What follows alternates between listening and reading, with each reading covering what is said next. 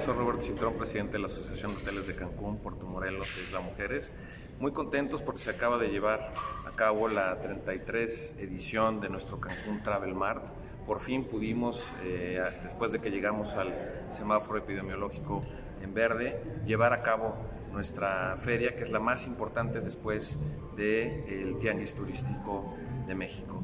En esta ocasión, eh, gracias a que muchos tour operadores estaban ávidos de salir, de reencontrarse nuevamente con sus colegas turisteros, pudimos tener cerca de 3.500 citas de negocio dentro del recinto ferial y fuera del recinto ferial, con una participación de más de 500 proveedores de alrededor de 15 países, incluyendo por primera vez los Emiratos Árabes Unidos. Muchas ediciones anteriores lo que veíamos es que los operadores tenían sus citas por fuera dentro del Travel Mart. Las fechas del Travel Mart son fechas que funcionan muy bien porque todos aprovechan para venir y para reunirse en esta zona.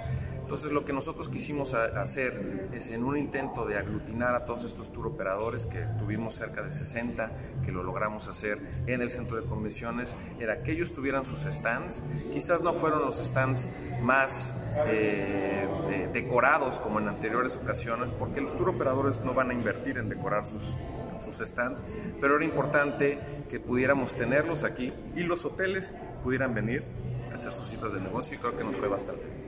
Estamos muy contentos por haber llevado a cabo esta edición número 33 del Cancún Travel Mart. Vamos por más, la edición número 34. Eh, la barra está puesta muy en alto y esperamos eh, y vamos a pasar estas expectativas. Muchas gracias.